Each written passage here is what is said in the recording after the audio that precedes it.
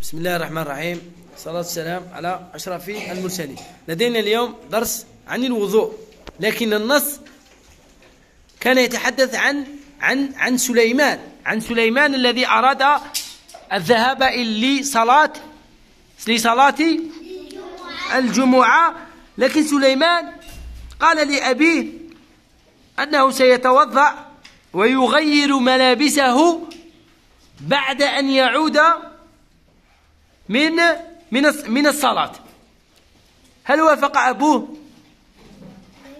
لم يوافق. الآن سوف أحدثكم قليلا عن عن سنن يوم الجمعة عند الذهاب لصلاة الجمعة. قلنا نحن المسلمين لدينا ثلاث أعياد. قلنا عندنا الجمعة هي عيد للمسلمين وعندنا عيد الفطر الذي يأتي في أول شوال. بعد رمضان وعندنا عيد الأضحى. تاع الأضحية. هذا هو العيد. المسلمين لهم ثلاث أعياد. لا لا غيرها لا غيرهم.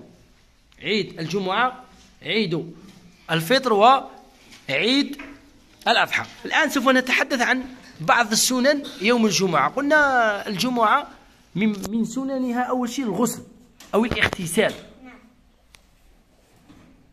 ثانيا عندنا آه، قراءة أي سورة؟ سورة؟ قراءة سورة الكهف. أيضا التطيب معناتها آه، وضع الطيب على الملابس. آه، لبس أحسن الثياب. بالإضافة إلى كثرة الصلاة إلى الصلاة على النبي صلى الله عليه نكثر من الصلاة على النبي صلى الله عليه وسلم. من صلى علي صلاة واحدة صلى به الله عليها عشر. بالإضافة إلى نذهب إلى المسجد مبكرا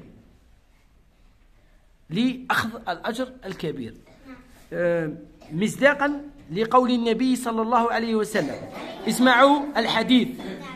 خير يوم طلعت عليه الشمس يوم الجمعة. سوف نتعرف يوم الجمعة؟ ماذا حدث؟ فيه خلق آدم. سيدنا آدم عليه السلام. وفيه أدخل الجنة. وفيه أخرج منها. ولا تقوم الساعة اللي هي يوم القيامة ولا يوم الحشر ولا يوم الفصل إلا يوم الجمعة. شوفوا يوم الجمعة. يوم عظيم. هو خير يوم طلعت عليه الشمس. هو خلق فيه آدم أدخل الجنة أخرج منها وأيضا يوم الساعة ولا القيامة تقوم يوم يوم الجمعة. سبحانك اللهم وبحمدك نشهد أن لا إله إلا أنت نستغفرك ونتوب إليك.